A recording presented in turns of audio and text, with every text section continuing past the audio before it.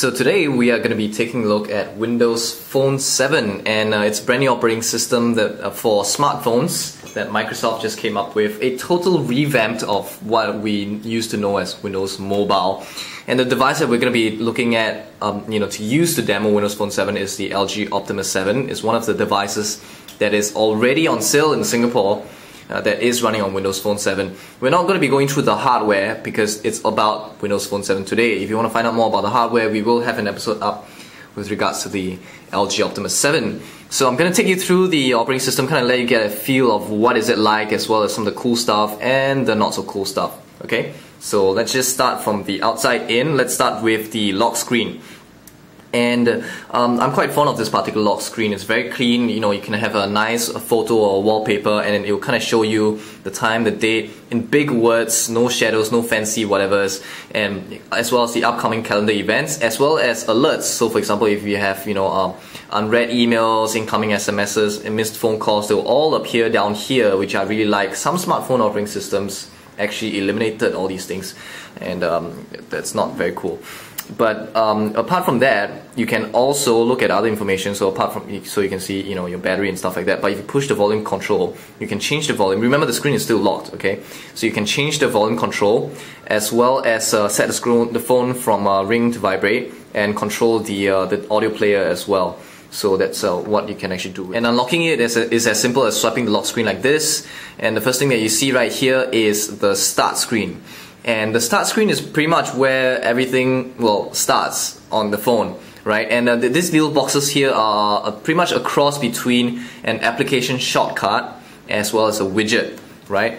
And uh, this is actually, it's very clean design. Again, this is something that you will find throughout the entire operating system. Everything is clean, no extra shadows, no 3D objects, something that seems to be very common nowadays um, in in uh, user interfaces. This one is totally the other way around. Um, which, like I said, they actually display information as well. So, for example, if I actually have um, an email, incoming email, they'll actually show you the numbers. And this number that will show here isn't actually an unread count, and I'll explain a little bit later. Okay. And uh, so over here you have, uh, for example, you have the calendar, and the calendar will show you the, the upcoming calendar events and so on and so forth, missed calls and they're quite dynamic. So in the sense of the picture uh, icon, for example, will actually show you one of the photos in your library. Right, the messaging will show you the last um, new incoming messages. The Xbox Live little widget will actually show you your Xbox avatar, and then the people widget will show you your friends' pictures. The you know if you put people tag people onto the screen, which you can, you will actually have you know faces of their faces and their profile pictures appearing and changing uh, as they change their, their profiles and things like that. Um, the Zune, the music player application shows you the last uh, artist that you actually were you were actually browsing in the Zune music store, which is very cool. All right, and you can also tag things like uh, you know websites and stuff like that. So it, it's kind of pretty much you know uh, a balance between uh, letting you see information that you know you want to see, something that was famous on Windows Mobile, at the same time while keep it you know cool looking. You know, Windows Mobile used to do that, but in, you know it just looks very old and boring. And if you actually flick towards the right, you get the application launcher. And basically, it's a up to down, up down list, right? You just scroll up to down, and it's right now it's quite okay because you know you start using the phone you have at most you know four or five applications but imagine with me if you actually start getting 20 30 new applications that you start purchasing and downloading and um, this list will start to get very very long and there's no way to actually quickly jump from the list to another. So what you would actually end up having to do is to tag you know to pull let's say for example a photo style list. You press and hold and actually you need to start pinning certain applications that you expect to use very often onto the front and then subsequently you can press and hold and uh, pretty much shift things around around the, the start screen Okay, so that's the start screen. Um, let me just talk a little bit about the physical controls while we're here. So you have the back button, and this back button is contextual. So um, if you are in an application, you go. This one will actually bring you backwards in terms of. Uh, just imagine it like the Android's back button, except that you know when even when you're on the start screen and you hit the back button, it brings you back to the last application that you were launching as well. This is the start button. It actually brings you to the start screen, and if you press and hold it, it will actually, you know, uh, do a voice recognition for you, which uh, which is quite interesting. And the search button is a contextual search button. If you put in push in the start button, it will bring you to a Bing. If you actually put it in somewhere else, say the email, the email application, which I'm, I'm going to do right here, and I hit the search button, it will actually allow you to search your emails, which uh, which will be very useful. And uh, speaking of the start button, the start button doesn't actually help you turn on the screen, unlike in iOS and Android, right? Uh, where you can actually hit the home button and the screen will turn on. You need to press the, the power switch on the top. So in the case of the Optimus 7, the power switch is actually very small, so it can be a little bit um, you know, difficult to push the button and find the button to, to, to press. So that's one of the things that um, it's not so cool with regards to Windows Phone 7. Let's take a look at the email application. And um, it's a very nice email application. Actually, shows everything very cleanly. The word, the fonts are big and things like that. And you can uh, scroll it sideways to quickly filter to unread emails, to flagged emails, urgent emails, and things like that. You can also select emails, so you can actually tick multiple emails, for example, and you can mark them as read. Um, and then right here at the bottom, this is something that's quite common uh, throughout the user interface. It's a little contextual kind of thing. So which I really like, right? There's no press and hold to right click. There's no funny contextual buttons. Uh, a lot of messy stuff like you see on Android. It's it's very um, obvious what what you can actually do. It's it's very visible to you, and basically you just push this, and it will show you you know what these buttons actually mean. At the same time, you know all the other extra features such as settings and things like that. So in this case, I can actually mark things as read, right? And then I can change settings uh, by you know going through this little contextual menu at the bottom. Okay, so uh, for email accounts, they actually support a lot of stuff. They support uh, both uh, Microsoft Exchange, Gmail, Yahoo, and uh, Hotmail, and things like that and um, you know you can add them in and each account will actually appear as its own individual icon. So right now this is the Outlook account which is used to represent Microsoft Exchange. If I actually add a Gmail account using the Gmail settings not the Exchange settings and a Windows Live account and so on and so forth the icons will appear separately. So then actually different accounts will be shown separately on the start screen.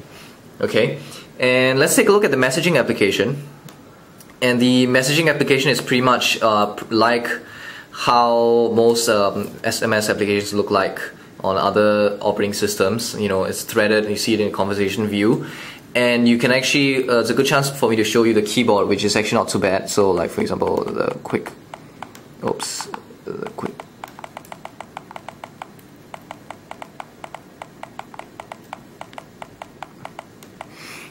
So you can see that uh, not only do they actually attempt to predict forward, but they also give you a list of suggested uh, words for, through um, from a dictionary. And the keyboard is actually not too bad. It's quite smart. Uh, I have a little bit of typos because there's a camera between my face and the phone.